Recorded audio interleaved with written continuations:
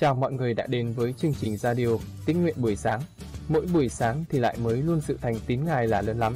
Lời Chúa là thức ăn thuộc linh cho chúng ta mỗi ngày để đắc thắng cám dỗ, tội lỗi xác thịt xung quanh chúng ta. Ngài bổ lại linh hồn bạn, dẫn bạn vào các lối công bình. Vì cớ danh Ngài, Chúa thêm sức mới cho bạn. Chúa thêm lên cho bạn đức tin. Mỗi ngày càng gần Chúa và giống Chúa hơn và có mối quan hệ mật thiết với Chúa mỗi ngày. Chúa yêu bạn rất nhiều. Chương 5 Kế sau, Môi-se và A-rôn đến tâu cùng Pharaon rằng Jehovah Đức Chúa Trời của dân Israel có phán như vậy. Hãy cho dân ta đi, đặng nó giữ một lễ cho ta tại đồng vắng. Nhưng Pharaon đáp rằng Jehovah là ai mà trẫm phải vâng lời người để cho dân Israel đi? Trẫm chẳng biết Jehovah nào hết Cũng chẳng cho dân Israel đi nữa. Môi-se và A-rôn tâu rằng Đức Chúa Trời của dân Hebrew đã đến cùng chúng tôi.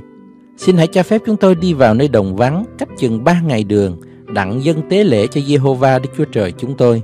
Kẻo Ngài khiến bệnh dịch hay việc gươm dao hành chúng tôi chăng? Vua xứ Egypto phán rằng, Hỡi Mô-se và A-rôn, sao các ngươi xui cho dân chúng bỏ công việc như vậy? Hãy đi làm công việc mình đi. Pharaon lại phán rằng, Kìa, dân sự trong xứ bây giờ đông đúc quá, hai ngươi làm cho chúng nó phải nghỉ việc ư.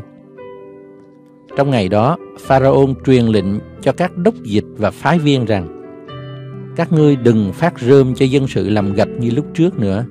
Chúng nó phải tự đi kiếm góp lấy. Nhưng các ngươi hãy hạn số gạch y như cũ, chớ trừ bớt chi cả, vì họ biến nhát lấy cớ mà đồng kêu lên rằng hè đi dân tế lễ cho Đức Chúa Trời chúng ta. Hãy gán công việc nặng cho chúng nó, hầu cho chúng nó mắc công việc, chẳng siêu về lời giả dối nữa. Các đốc dịch và phái viên bèn ra nói cùng dân chúng rằng, Pharaon có phán như vậy, ta chẳng cho các ngươi rơm nữa, hãy tự đi kiếm lấy rơm ở đâu thì đi. Xong chẳng trừ bớt công việc các ngươi chút nào.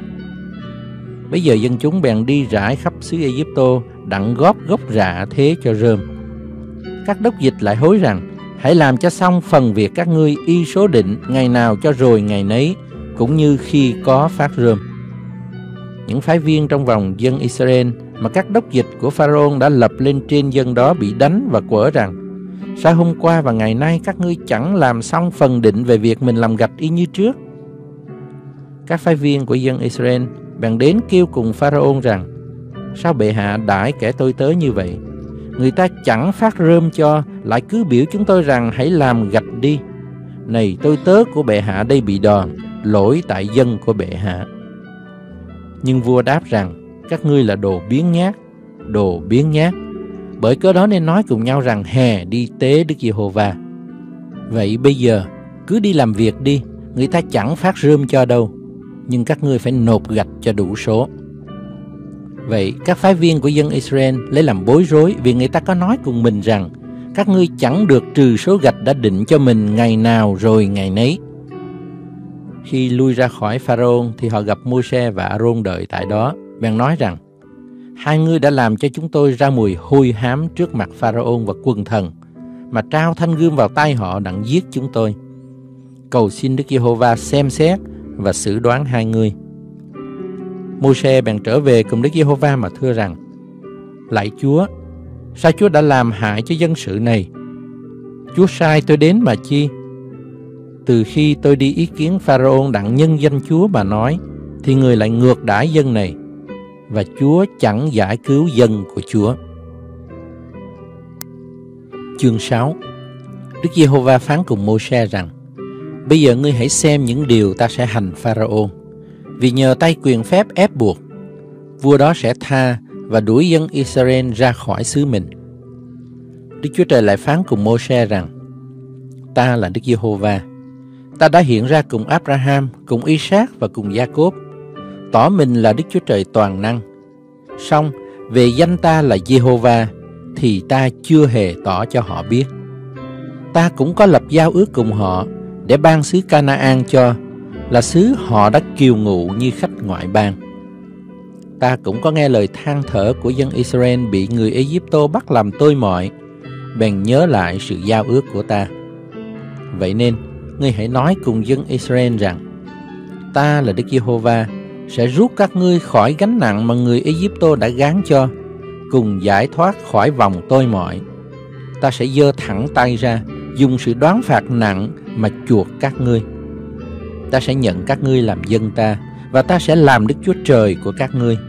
Các ngươi sẽ biết ta là Giê-hô-va Đức Chúa Trời của các ngươi, đã rút các ngươi khỏi gánh nặng của người Egypto. Ta sẽ dắt các ngươi vào xứ ta đã thề ban cho Abraham, cho Isaac, cho Jacob, mà cho các ngươi xứ đó làm cơ nghiệp. Ta là Đức Giê-hô-va. Môi-se nói lại như vậy cho dân Israel, nhưng vì bị sầu não và việc tôi mọi nặng nề, nên chẳng nghe Môi-se chút nào. Đức Giê-hô-va bèn phán cùng Môi-se rằng, hãy đi tâu cùng Pharaon vua xứ Egypto, phải cho dân Israel ra khỏi xứ mình. Nhưng Môi-se thưa cùng Đức Giê-hô-va rằng, này, tôi là một kẻ vụng miệng, dân Israel chẳng có nghe lời tôi. Pharaon há sẽ khứng nghe lời tôi sao? Đức Giê-hô-va lại phán cùng Môi-se và A-rôn, bèn truyền cho hai người phải đi đến dân Israel và Pharaon, vua xứ Egypto, đặng đem dân đó ra khỏi xứ Egypto. Đây là các trưởng tộc của những họ hàng dân Israel. Các con trai của Ruben, tức là trưởng nam Israel là Henoch, Phalu, Hezron và Cạc-mi. Đó là những họ hàng của Ruben. Các con trai của Simeon là Yemuel, Yamin, Ohad, Yakin, Soha và Sao Lơ là con của vợ xứ Canaan. Đó là họ hàng của Simeon. Đây là tên các con trai của Levi, tùy theo dòng dõi của họ, Gershon, Kehat và Merari. Levi hưởng thọ được 137 tuổi. Các con trai của Gẹt-sôn tùy theo họ hàng mình, Libni và Shimei. Các con trai của Kê-hát là Amram, Yitseha, Hebron và Ucien. Kehat hưởng thọ được 133 tuổi. Các con trai của Merari là Machli và Mushi. Đó là các họ hàng của Levi tùy theo dòng dõi của họ. Và Amram lấy Jochebed là cô mình làm vợ. Nàng sinh cho người Aaron và Môi-se. Amram hưởng thọ được 137 tuổi. Các con trai của Yitseha là Kore, Nephet và Sichri. Các con trai của Usien là Mishael, Ensaphan và Sidri. Aaron cưới Elisheba, con gái của Aminadab, em của Nahashon. Nàng sinh cho người Nadab, Abihu, Eleasa và Ithama. Các con trai của Kore là Aksi, Enkana và Abiasap. Đó là các họ hàng của dân Kore. Eleasa, con trai của Aaron, cưới con gái của Phutien làm vợ. Nàng sinh Phinea cho người. Đó là các trưởng tộc của nhà tổ phụ người Levi, tùy theo họ hàng mình vậy. Ấy, Aaron và Môi-se này, tức là người mà Đức Giê-hô-va đã phán dạy rằng, hãy tùy theo cơ đội đem dân Israel ra khỏi xứ Egypto. Ấy là hai người tâu cùng Pharaon vua xứ Egypto đặng đem dân Israel ra khỏi xứ đó. Ấy là Môi-se và Aaron này. Vậy, trong ngày Đức Giê-hô-va phán cùng Môi-se tại xứ Egypto thì Ngài có truyền rằng: Ta là Đức Giê-hô-va, hãy tâu lại cùng Pharaon vua xứ Egypto hết thảy mọi lời ta sẽ phán cùng ngươi. Môi-se bèn thưa rằng: Này, tôi là người vụng miệng, Pharaon há sẽ nghe tôi sao? Thi Thiên 17 Đức Giê-hô-va ơi, xin hãy nghe sự công chính, để ý về tiếng kêu của tôi. Xin hãy lắng tai nghe lời cầu nguyện tôi ra bởi môi không giả dối. Nguyện quyền lợi tôi ra từ trước mặt Chúa, cầu mắt Chúa xem xét sự ngay thẳng. Chúa đã dò lòng tôi, viếng tôi lúc ban đêm, có thử tôi, nhưng chẳng tìm thấy gì hết. Tôi đã quyết định miệng tôi sẽ không phạm tội. Còn về công việc loài người, tôi nhờ lời môi Chúa phán mà giữ lấy mình khỏi các con đường của kẻ hung bạo. Bước tôi vững chắc trong các lối của Chúa, chân tôi không siêu tó. Hỡi Đức Chúa Trời, tôi cầu nguyện cùng Chúa vì Chúa sẽ nhậm lời tôi. Xin Chúa nghiêng tai qua mà nghe lời tôi. hỡi đấng dùng tay hữu cứu kẻ nương náu mình nơi Ngài khỏi những kẻ giấy nghịch cùng họ. Xin hãy tỏ ra sự nhân từ lạ lùng của Ngài. Cầu Chúa bảo hộ tôi như con ngươi của mắt. Hãy ấp tôi dưới bóng cánh của Chúa cho khỏi kẻ ác hài hiếp tôi, khỏi kẻ thù nghịch hăm hở vây phủ tôi. Chúng nó biết lòng mình lại, miệng chúng nó nói cách kiêu căng. Chúng nó vây phủ chúng tôi mỗi bước, mắt chúng nó dòm hành đặng làm cho chúng tôi sa ngã. Nó giống như sư tử mê mồi, như sư tử tơ ngồi rình trong nơi khuất tịch. Hỏi Đức Giê-hô-va, xin hãy chờ dậy đi đón và đánh đổ nó. Hãy dùng gươm Ngài mà giải cứu linh hồn tôi khỏi kẻ ác. Hỡi Đức Giê-hô-va, xin hãy dùng tay Ngài giải cứu tôi khỏi loài người, tức khỏi người thế gian mà có phần phước mình trong đời bây giờ. Ngài làm cho bụng chúng nó đầy dẫy vật báu của Ngài. Chúng nó sinh con thỏa nguyện và để lại phần của còn dư cho con cháu mình. Còn tôi, nhờ sự công bình, tôi sẽ được thấy mặt Chúa. Khi tôi tỉnh thức, tôi sẽ thỏa nguyện nhìn xem hình dạng của Chúa. Thi Thiên 18 Hỡi Đức Giê-hô-va, Ngài là năng lực tôi, tôi yêu mến Ngài. Đức Giê-hô-va là hòn đá tôi, đồn lũy tôi, đấng giải cứu tôi. Đức Chúa Trời là hòn đá tôi, nơi Ngài tôi sẽ nương náu mình. Ngài cũng là cái khiên tôi, sừng cứu rỗi tôi và là nơi náu ẩn cao của tôi. Đức Giê-hô-va đáng được ngợi khen, tôi sẽ kêu cầu Ngài, ắt sẽ được giải cứu khỏi các kẻ thù nghịch tôi. Các dây sự chết đã vương vấn tôi, luộc gian ác chảy cuộn làm cho tôi sợ hãi. Những dây âm phủ đã vấn lấy tôi, lưới sự chết hãm bắt tôi. Trong cơn gian truân, tôi cầu khẩn Đức Giê-hô-va, tôi kêu cầu Đức Chúa Trời tôi. Tại đền Ngài, Ngài nghe tiếng tôi và tiếng kêu cầu của tôi thấu đến tai Ngài. Bây giờ, đất động và rung, nên các núi cũng lay chuyển và rung động vì Ngài nổi giận. Khói bay ra từ lỗ mũi Ngài, ngọn lửa hực phát ra từ miệng Ngài, làm cho than cháy đỏ. Ngài làm nghiêng lệch các tầng trời và ngự xuống. Dưới chân Ngài có vùng đen kịt. Ngài cởi cherubim và bay. Ngài liện trên cánh của gió. Ngài nhờ sự tối tăm làm nơi ẩn núp mình. Dùng các vùng nước tối đen và mây mịt mịt của trời mà bủa chung quanh mình Ngài dường như một cái trại. Từ sự rực rỡ ở trước mặt Ngài, ngang qua các mây mịt mịt của Ngài, có phát ra mưa đá và than hực lửa. Đức Giê-hô-va sấm sét trên các tường trời, đấng chí cao làm cho vang rân tiếng của Ngài. Có mưa đá và than hực lửa. Ngài bắn tên làm cho tản lạc quân thù nghịch tôi, phát chớp nhoáng nhiều khiến chúng nó lạc đường. Hỡi Đức Giê-hô-va, bởi lời hăm he của Ngài, bởi gió xịt ra khỏi lỗ mũi Ngài, đáy biển bèn lộ ra và các nền thế gian bị bày tỏ. Từ trên cao, Ngài giơ tay ra nắm tôi, rút tôi ra khỏi nước sâu. Ngài giải cứu tôi khỏi kẻ thù nghịch có sức lực, khỏi kẻ ghét tôi, vì chúng nó mạnh hơn tôi. Trong ngày gian truân, chúng nó xông vào tôi, nhưng Đức Giê-hô-va nâng đỡ tôi. Ngài đem tôi ra nơi rộng rãi, giải cứu tôi, vì Ngài ưa thích tôi. Đức Giê-hô-va đã thưởng tôi tùy sự công bình tôi, báo tôi theo sự thanh sạch của tay tôi. Vì tôi đã giữ theo các đường lối Đức Giê-hô-va, chẳng có làm ác xây bỏ Đức Chúa Trời tôi. Vì các mạng lệnh Ngài đều ở trước mặt tôi, còn luật lệ Ngài tôi nào bỏ đâu. Tôi cũng ở trọn vẹn với Ngài, giữ lấy mình khỏi ác. Vì vậy, Đức Giê-hô-va đã báo tôi tùy sự công bình tôi, thưởng tôi theo sự thanh sạch của tay tôi trước mặt Ngài kẻ hay thương xót Chúa sẽ thương xót lại. Đối cùng kẻ trọn vẹn Chúa sẽ tỏ mình trọn vẹn lại. Đối cùng kẻ thanh sạch Chúa sẽ tỏ mình thanh sạch lại.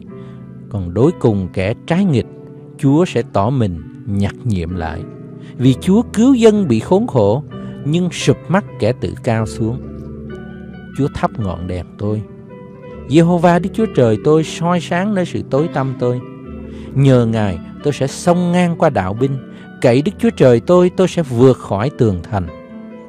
Còn Đức Chúa Trời, các đường lối Ngài là trọn vẹn.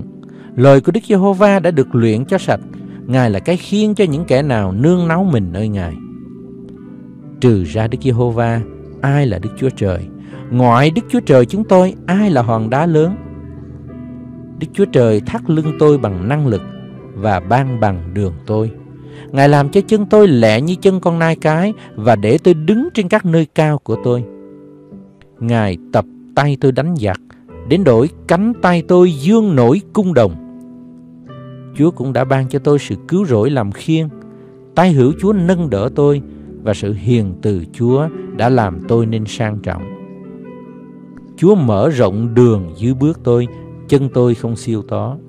Tôi rượt đuổi kẻ thù nghịch tôi và theo kịp, chỉ trở về sau khi đã tận diệt chúng nó. Tôi đâm lũng chúng nó đến nỗi chúng nó không thể dậy lại được. Chúng nó sa ngã dưới chân tôi vì Chúa đã thắt lưng tôi bằng sức lực để chiến, khiến kẻ giấy nghịch cùng tôi xếp rẹp dưới tôi. Chúa cũng khiến kẻ thù nghịch xây lưng cùng tôi, còn những kẻ ghét tôi, tôi đã diệt chúng nó rồi. Chúng nó kêu nhưng chẳng có ai cứu cho. Chúng nó kêu cầu Đức Giê-hô-va, song Ngài không đáp lại. Bây giờ, tôi đánh nát chúng nó ra nhỏ như bụi bị gió thổi đi. Tôi ném chúng nó ra như buồn ngoài đường. Chúa đã cứu tôi khỏi sự tranh giành của dân sự, lập tôi làm đầu các nước. Một dân tộc tôi không quen biết sẽ hầu việc tôi. Vừa khi nghe nói về tôi, chúng nó sẽ phục tôi. Các người ngoại bang sẽ giả bộ vâng theo tôi. Các người ngoại bang sẽ tàn mạc, đi ra khỏi chỗ ẩn mình cách run sợ. Đức Giê-hô-va hằng sống, đáng ngợi khen hòn đá tôi.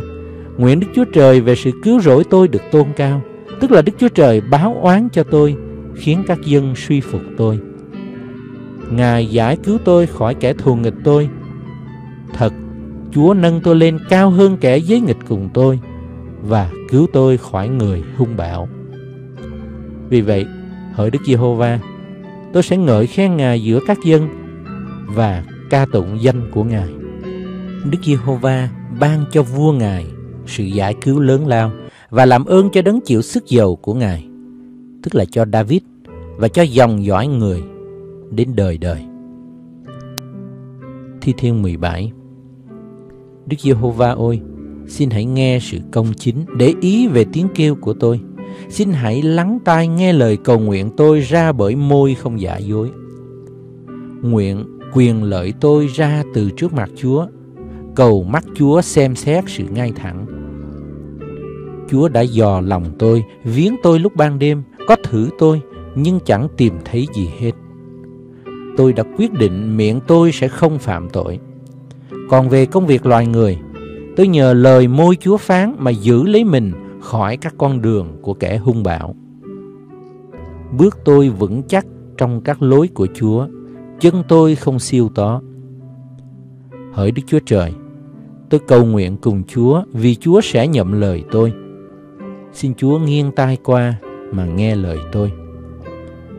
Hỡi đấng dùng tay hữu cứu kẻ nương náu mình nơi Ngài khỏi những kẻ giấy nghịch cùng họ. Xin hãy tỏ ra sự nhân từ lạ lùng của Ngài.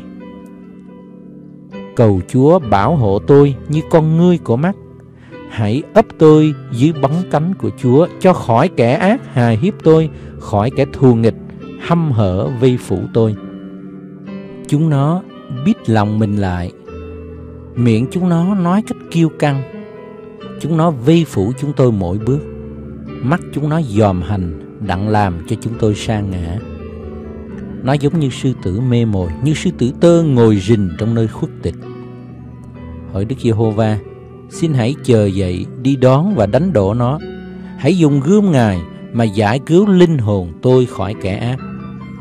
Hỏi đức giê-hô-va, xin hãy dùng tay ngài giải cứu tôi khỏi loài người, tức khỏi người thế gian mà có phần phước mình trong đời bây giờ. Ngài làm cho bụng chúng nó đầy dẫy vật báu của Ngài. Chúng nó sinh con thỏa nguyện và để lại phần của còn dư cho con cháu mình. Còn tôi, nhờ sự công bình, tôi sẽ được thấy mặt Chúa. khi tôi tỉnh thức, tôi sẽ thỏa nguyện nhìn xem hình dạng của Chúa. Thi Thiên 18 Hỡi Đức Giê-hô-va, Ngài là năng lực tôi, tôi yêu mến Ngài. Đức Giê-hô-va là hòn đá tôi, đồn lũy tôi, đấng giải cứu tôi. Đức Chúa Trời là hòn đá tôi, nơi Ngài tôi sẽ nương náu mình. Ngài cũng là cái khiên tôi, sừng cứu rỗi tôi và là nơi náu ẩn cao của tôi. Đức Giê-hô-va đáng được ngợi khen, tôi sẽ kêu cầu Ngài, ắt sẽ được giải cứu khỏi các kẻ thù nghịch tôi. Các dây sự chết đã vương vấn tôi, luộc gian ác chảy cuộn làm cho tôi sợ hãi. Những dây âm phủ đã vấn lấy tôi, lưới sự chết hãm bắt tôi. Trong cơn gian truân, tôi cầu khẩn Đức Giê-hô-va, tôi kêu cầu Đức Chúa Trời tôi. Tại đền Ngài, Ngài nghe tiếng tôi và tiếng kêu cầu của tôi thấu đến tai Ngài. Bây giờ, đất động và rung, nên các núi cũng lay chuyển và rung động vì Ngài nổi giận. Khói bay ra từ lỗ mũi Ngài, ngọn lửa hực phát ra từ miệng Ngài, làm cho than cháy đỏ. Ngài làm nghiêng lệch các tầng trời và ngự xuống. Dưới chân Ngài có vùng đen kịt. Ngài cởi cherubim và bay. Ngài liện trên cánh của gió. Ngài nhờ sự tối tăm làm nơi ẩn núp mình. Dùng các vùng nước tối đen và mây mịt mịt của trời mà bủa chung quanh mình Ngài dường như một cái trại. Từ sự rực rỡ ở trước mặt Ngài, ngang qua các mây mịt mịt của Ngài, có phát ra mưa đá và than hực lửa. Đức Giê-hô-va sấm sét trên các tầng trời, đấng chí cao làm cho vang rân tiếng của Ngài. Có mưa đá và than hực lửa.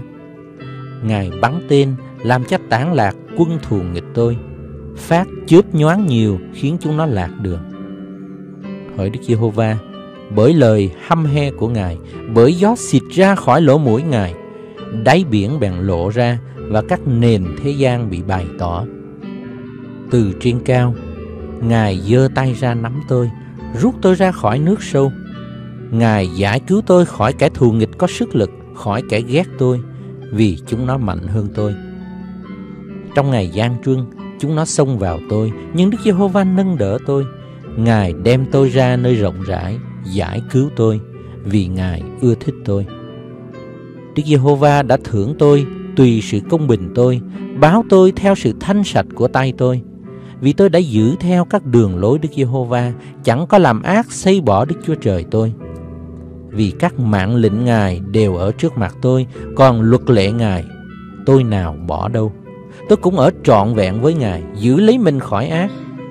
Vì vậy, Đức Giê-hô-va đã báo tôi tùy sự công bình tôi, thưởng tôi theo sự thanh sạch của tay tôi trước mặt Ngài kẻ hay thương xót, Chúa sẽ thương xót lại.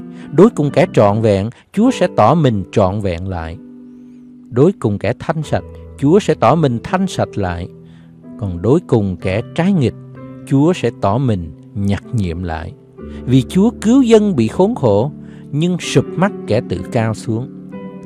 Chúa thắp ngọn đèn tôi. Jehovah Đức Chúa Trời tôi soi sáng nơi sự tối tăm tôi.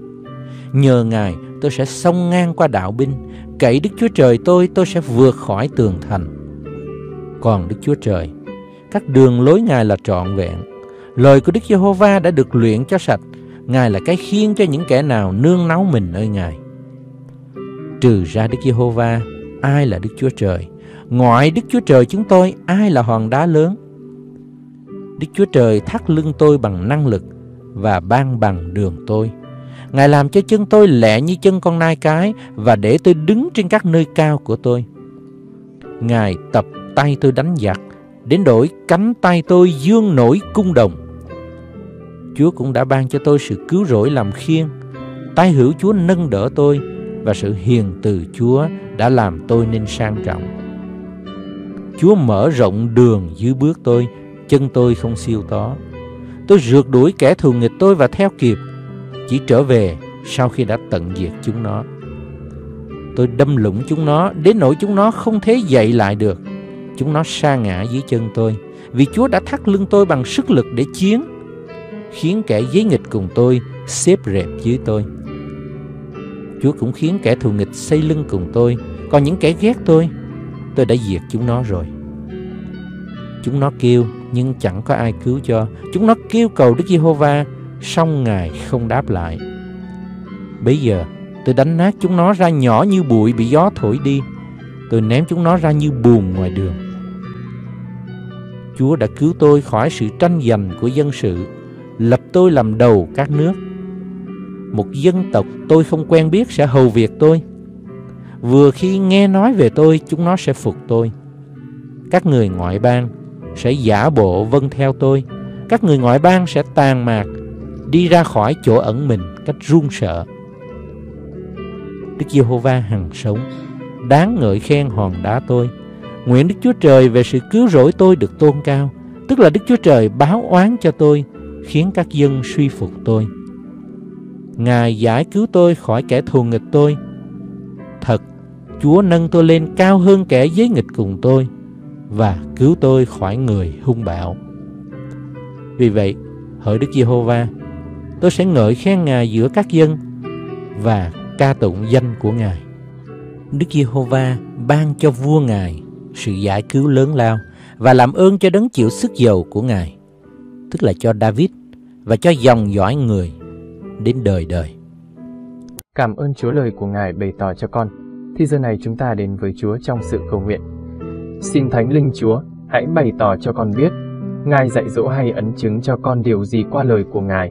Xin lời của Ngài được linh hồn con ăn nuốt vào trong tấm lòng và tâm trí của con mỗi ngày thêm lên lời của Ngài, để linh hồn con được tăng trưởng, thêm lên đức tin đặt để nơi Ngài. Xin Chúa cho con biết về Ngài nhiều hơn và con khát khao mối quan hệ mật thiết với Ngài nhiều hơn. Lạy Chúa con cảm ơn Ngài, mỗi ngày mới ngày ban cho con hơi thở để tiếp tục sống trên đất này.